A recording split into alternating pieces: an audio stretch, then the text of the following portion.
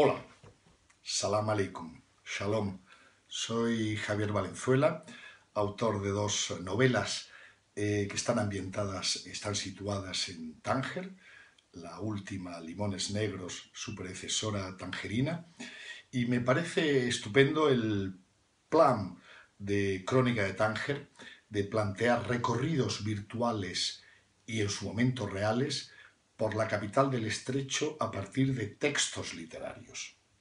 Hay ciudades en el mundo que son extraordinariamente literarias, eh, atractivas para eh, novelistas y poetas y dramaturgos, y donde las historias, donde situar historias siempre funciona de un modo maravilloso.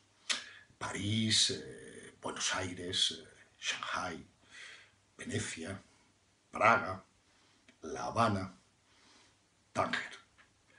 Eh, Tánger eh, tiene una situación geográfica extraordinaria, lo sabemos, pero no es suficiente. Su condición geográfica de frontera o de puente entre el Atlántico y el Mediterráneo, Europa y África, el mundo occidental y el mundo oriental, ya es de por sí, de por sí un elemento muy, muy atractivo para que se ubique un, creador de historias.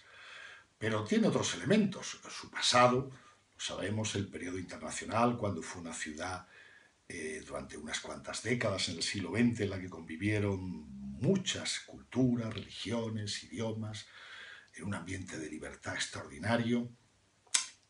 Y aún hoy, pese a que ese pasado internacional queda atrás, Tánger sigue siendo una ciudad con una población hospitalaria, población liberal en el buen viejo sentido de la palabra, o sea, partidaria de la libertad, de conceder libertad al otro siempre que no te fastidie. Eh, una ciudad, una, población además eh, a la que le encanta contar y escuchar historias y recrear historias, al modo de la Sherezade de las mil y una noches. Eh, por eso, en el pasado recientes establecieron allí, vivieron allí pues, gente del periodo internacional como Paul y Jane Bowles, que atrajeron a cantidad de grandes escritores anglosajones a Tánger, eh, Truman Capote, Tennessee Williams, William Burroughs, Jack Kerouac. Por allí también pasó largas temporadas el escritor francés Jean Genet, que decía que Tánger era un repère de traîtres, refugio de traidores, lo que en su, para él era un gran elogio.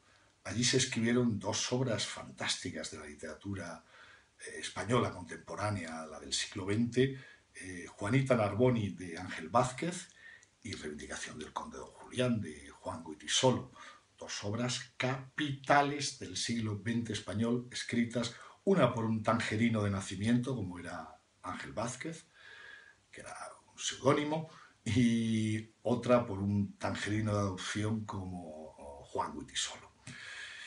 Y allí también eh, han escrito eh, o, han narrado oralmente, para que alguien las escribiera, según el caso, dos de los más fantásticos creadores marroquíes de cuentos y de historias de, los últimos tiempos, como Muhammad Chukri eh, y Muhammad Enrabet.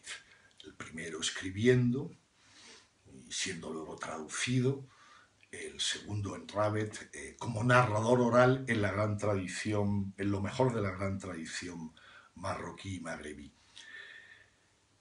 Aún hoy mm, hay un gran, un gran, un gran eh, interés de los, por parte de los escritores por instalarse en Tánger, por escuchar sus historias, por vivir con su gente eh, y hacer a partir de ahí relatos propios. ¿no? María Dueñas, con el tiempo entre costuras que transcurre entre Tetuán y Tánger, ha devuelto al norte de África su potencia literaria para el lector español, pero hay otros escritores eh, españoles contemporáneos, Sergio Barce, Antonio Lozano, Iñaki Martínez, Susana Fortes, servidor, eh, que seguimos eh, escribiendo y publicando novelas que, transcurren en Tánger.